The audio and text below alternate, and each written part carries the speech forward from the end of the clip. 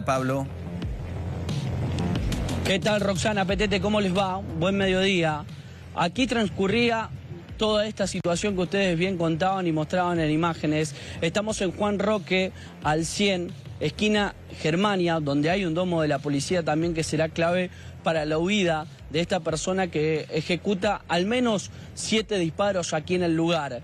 En este sector, cerca de las 2 de la tarde, aquí había un automóvil cruzado en esta esquina que le servía de escudo a esta persona que rápidamente al ver a tres personas sobre el portón donde se estaba efectuando en el fondo el asado, comienza a acomodarse, pasan los automóviles y dispara desde atrás del árbol, ¿sí? Para que ustedes tengan un poco la trayectoria del tiro. Así como camina nuestro cámara, Mauro Terencio, son en dirección que tuvo prácticamente la mayoría de las balas. Aquí van a comenzar a ver las marcas que dejó sobre la pared del club. Una aquí, otra en este sector, otra ahí. Dos que quedaron en la parte azul y la que se especula que fue la letal pasa directamente por esa luz que ustedes ven hacia adentro del salón.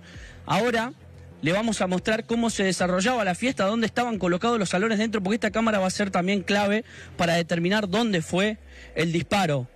Porque ahora, mirándolo desde adentro del salón, ustedes van a tener la perspectiva desde la cantina a la derecha, es la puerta donde presuntamente pasó el disparo. Lo que dicen obviamente los familiares, y aquí vamos a el testimonio de los testigos, es que ella estaba cerca de la parrilla. Si ella estaba cerca de la parrilla, estaba ya en el fondo. O sea que la línea de disparo que tenía la persona que obviamente los realizó no da con el margen. El portón estaba abierto, pero aquí hay una pared que le sirve de contención, por lo tanto la línea no va directa.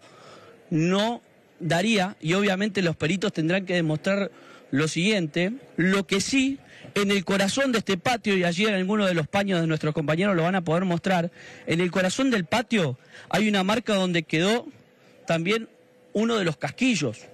Por lo tanto, esto hace presumir o el rebote en la pared y que la bala queda allí, o es que se confirma la teoría de la familia, ¿sí? que desde adentro se efectuaron disparos, lo que sí, si hubiesen disparado desde adentro hacia afuera, aquí lo que pueden ver es que básicamente no habría marcas de esos disparos que nacieron desde la parrilla hacia la calle Juan Roque.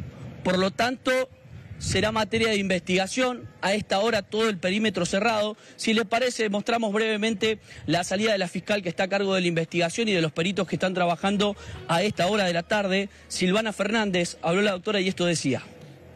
Un hecho muy grave, muy lamentable. Por el momento no puedo hacer ninguna declaración. Estamos trabajando, haciendo diligencias judiciales.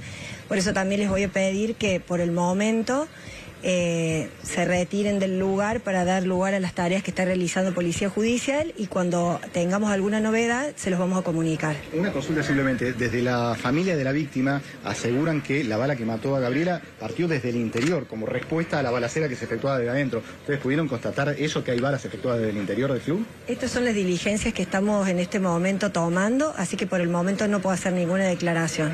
¿No hay sobre... todavía? No, ninguna persona.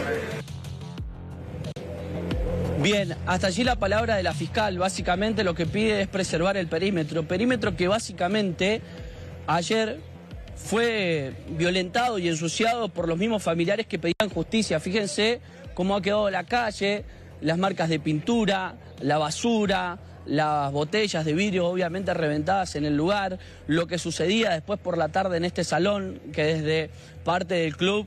Eh, entienden el dolor, pero dicen nada tenía que ver el club ante esta situación y el evento ya estaba pactado. Hubo algunos conflictos, por eso a esta hora está la Guardia de Infantería aquí también, porque se presume que hay una marcha por parte de los familiares de eh, Gabriela, de esta joven de 24 años, cerca de las 13 horas aquí en el lugar.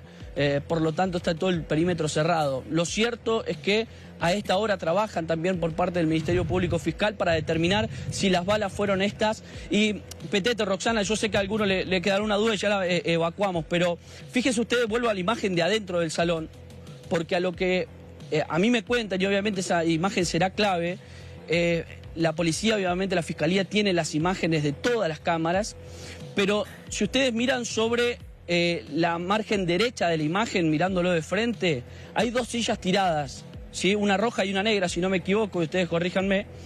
En esa zona habría quedado el cuerpo de Gabriela, ¿sí? Para que tengan en cuenta un poco la línea de tiro, si uno se condice con el disparo desde aquí, pasando a través de esta pequeña luz que tenía a través de la puerta, en diagonal a ese sector, se podría dar que, que allí fue el tiro letal, ¿no?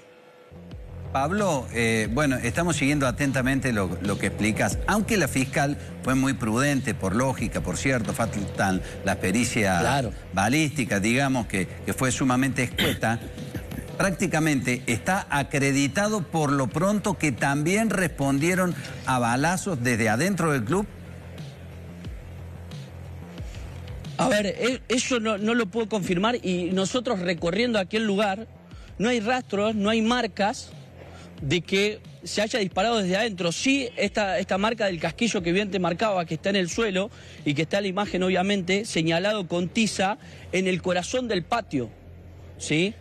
En el corazón del patio allí quedó un casquillo que fue marcado obviamente por los peritos eh, una vez que, ocurrió este hecho, con la misma tiza que estaban marcadas las flechas que más temprano eh, le, mostrábamos, ¿no?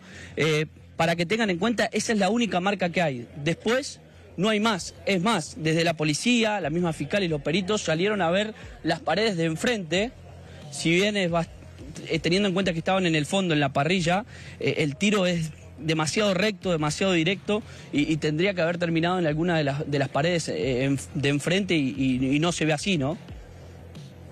Estás haciendo referencia a que en principio no se ha encontrado o no hay certeza de algunas vainas diferentes a estas siete de una 9 milímetros. ¿Tampoco ha habido eh, testigos que refieren que vieron a otras personas disparar desde adentro? No, no, no. Los, vecinos solamente dicen que escucharon los disparos y obviamente una vez que salieron todo había terminado. Que sí, eh, en el conteo rápido eh, especulan que al menos 10 disparos eh, eh, escucharon, pero no más de eso. puede ser obviamente el mismo nerviosismo, lo que sí sintieron que los eh, tiros fueron reiterados, no que hubo un, silencio y volvieron a disparar, por lo tanto será materia de investigación si hay alguna bala de, de otro tipo aquí en este caso, ¿no? Gracias Pablo, volvemos contigo frente a cualquier novedad. Bueno.